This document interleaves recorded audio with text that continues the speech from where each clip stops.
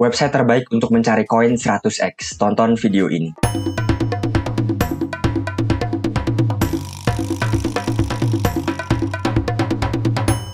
Halo semua, selamat malam. Kembali lagi bersama saya Ardo di channel Pace Crypto.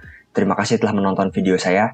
Oke, untuk kali ini saya akan membagikan tips cara mencari koin 100x menggunakan website yang sangat berguna ini ya. Mengapa website ini dapat membantu kita untuk mencari koin yang berpotensi besar? Karena kita tahu sendiri bahwa yang namanya blockchain dan crypto sangat terbuka sekali untuk informasinya ya. Jadi total value lock ataupun berapa nilai yang terkunci dalam smart contract dalam blockchain tersebut terekam dan dapat kita akses dengan sangat mudah sekali. Nah, tetapi website ini membantu kita untuk merangkum semuanya dan juga untuk membandingkan semuanya. Jadi kita dengan sangat mudah menganalisa suatu koin yang kira-kira berpotensi untuk naik sangat banyak sekali.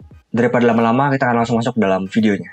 Nah, sebelum masuk ke dalam videonya, jika lo kalian banyak bingung terkait kosakata blockchain saya, mungkin kalian dapat mulai perjalanan belajar blockchain kalian menggunakan Play3 ini ya kawan-kawan. Ini merupakan website yang sangat baik untuk kita mulai belajar tentang blockchain dan juga blockchain gaming Kalian tinggal klik link di bawah dan berikutnya kita akan masuk ke dalam yang namanya Learn.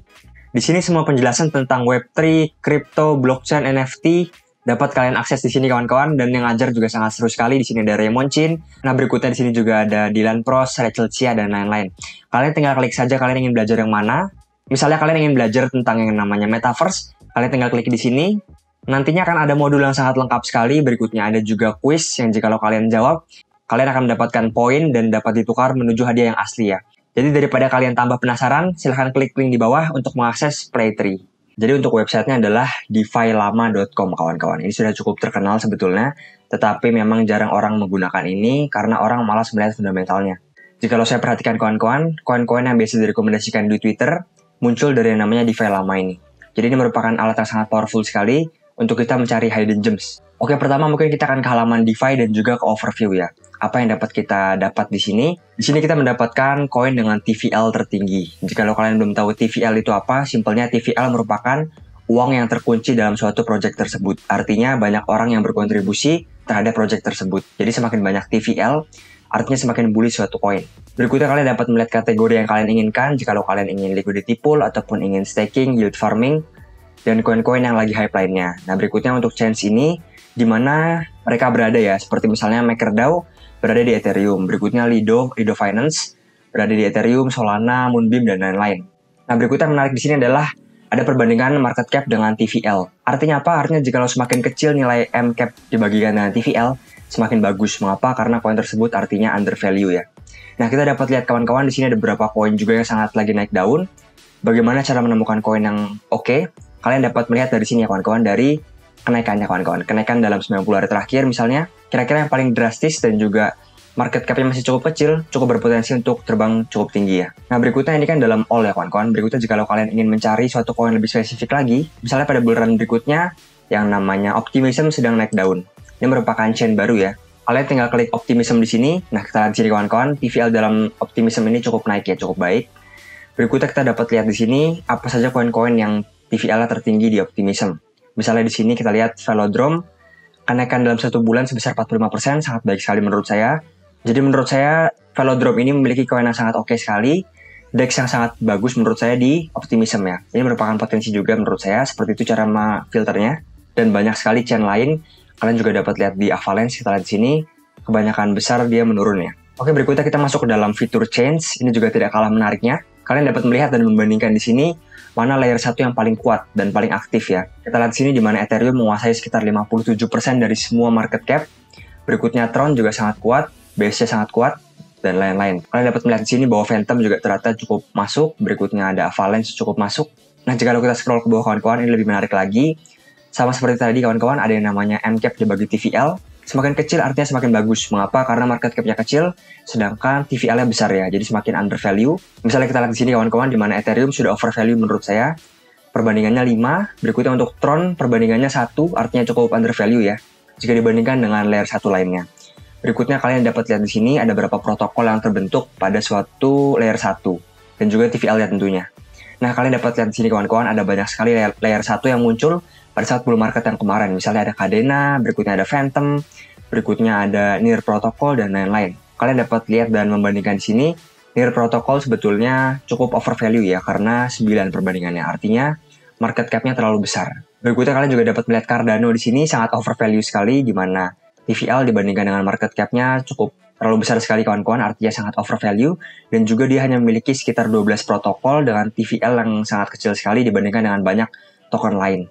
Nah, jika kalian ingin mencari hidden gems layer 1, kalian juga dapat menggunakan fitur ini. Misalnya di sini ada Moonbeam, sangat oke okay sekali. Saya pernah membahas di video tersendiri. Berikutnya ada Metis DAO, juga sangat oke okay sekali.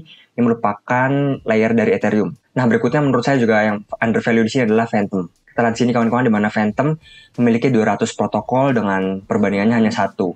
Dan performanya cukup baik juga. Tinggal kita klik di sini misalnya. Kalau kita klik Phantom kawan-kawan, kita dapat melihat di mana saja TVL Phantom mengalir ya. Misalnya di sini TVL Phantom mengalir di Spooky Swap sebesar sekitar 20%. Artinya ini merupakan project yang paling aktif di Phantom, sementara ini merupakan Spooky Swap ataupun DEX milik Phantom. Perbandingan market cap dibandingkan dengan TVL juga cukup rendah, artinya cukup undervalue. Nah berikutnya juga ada di sini Gaze Finance, Curve, dan lain-lain. Kalian dapat melihat dan membandingkan kira-kira koin mana yang lagi naik daun ataupun yang TVL yang lagi naik pesat. Berikutnya baru kalian riset lagi secara lebih lanjut lagi.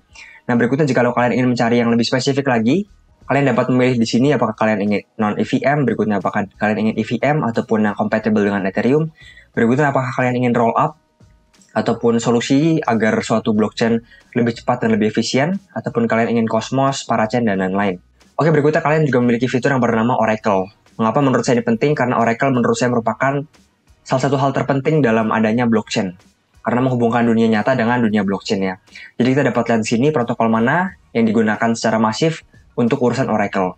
Dapat kita lihat sini bahwa yang namanya Chainlink sangat menguasai dunia Oracle ini. Dia menguasai sebesar 44% kawan-kawan dari semua pasar. Disusul dengan yang namanya Maker, berikutnya ada Winlink, ada Band Protocol, dan lain-lain. Jadi untuk Chainlink sangat menguasai sekali dunia ini ya.